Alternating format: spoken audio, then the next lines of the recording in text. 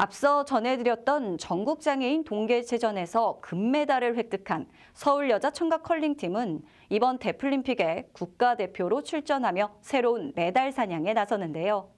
뛰어난 팀워크로 호흡하며 그동안 갈고 닦은 실력을 펼쳐 보인다는 계획입니다. 정유정 기자입니다. 차가운 얼음 위 선수들의 뜨거운 열정이 수화로 오고 가며 상대편 스톤을 멀리 쳐냅니다.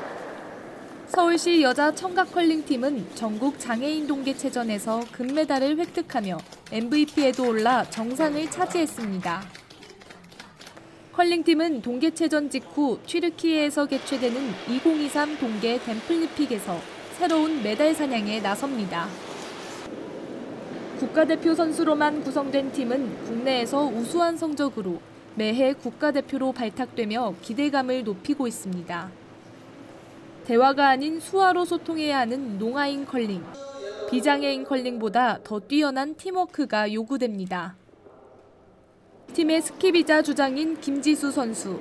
리더십이 강하고 판단 능력이 뛰어나 완벽한 하나의 팀으로 이끌어갑니다.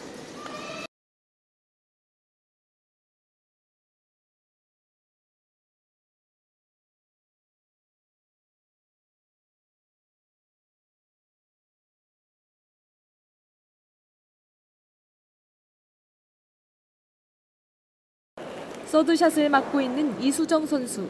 경기를 마친 후 남은 시합에 대한 당찬 각오를 전했습니다.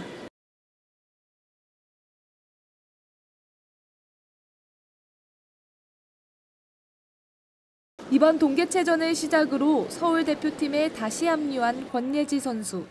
팀의 애정을 표현하며 웃음을 보이기도 했습니다.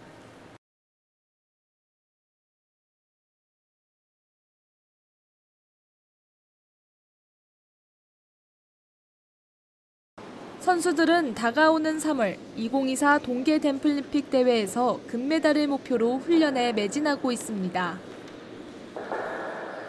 어, 지금도 지금까지도 열심히 준비하고 있지만 19년도에 출전해서 동메달을 획득하기도 하였었고 그래서 이번 데플리픽에서는 어, 메달 색깔을 좀 바꿀 수 있도록 최선을 다해서 열심히 준비하고 있습니다. 꾸준하게 자신의 역할을 해내는 듬직한 선수들. 장애를 넘어 파이팅 넘치는 열띤 경기를 통해 농아인 컬링의 위상을 높여가고 있습니다. 새로운 목표에 도전하는 서울시 여자 청각 컬링팀. 선수들의 열정이 댐플리픽의 겨울을 뜨겁게 달굴 예정입니다.